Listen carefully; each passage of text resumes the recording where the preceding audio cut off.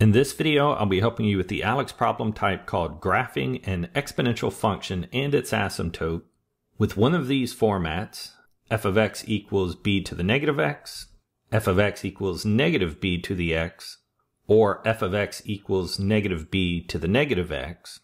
And our example here has f of x equals 3 fifths to the negative x power. And we'll be graphing by plotting five points and then drawing the asymptote. And I'll start by recognizing that for each of these forms where we have an exponential, our shape will be either increasing exponentially or decreasing exponentially. And plotting five points is certainly one way to tell which we will have and create the graph making our table here, I always like to start with x equals 0 because it's usually pretty straightforward to plug in x equals 0. For our function here, f of 0 is 3 fifths raised to the negative 0 or just 0 power. 3 fifths to the 0 is 1. So we have our first point, 0, 1. And then our question would be moving to the right or the left, is it increasing or decreasing? I can try the value of 1, where f of 1 is going to be 3 fifths to the negative x or negative 1 power. The negative power means we invert the fraction to be 5 thirds. So we have 1 and the value 5 thirds. 1 and 5 thirds definitely shows that we are moving up, going to the right.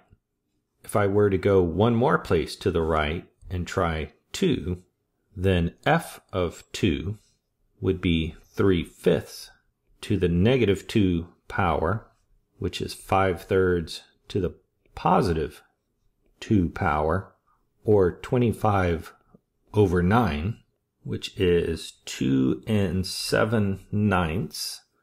Again, we are continuing to go up, moving to the right. I should try at least one value to the left. So here I'll try negative 1.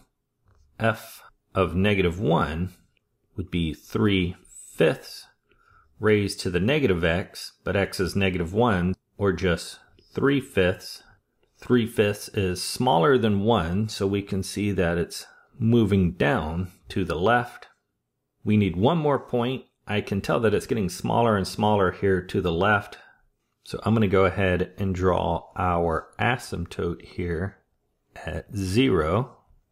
And then one more point to the right. I'll try 3. f of 3 is 3 fifths to the negative 3 or 5 thirds to the third power, making that exponent positive. 125 over 27. This is approximately 5. We can see that our line is increasing rapidly. So this would be the shape of our exponential function, and I've drawn the asymptote here as well.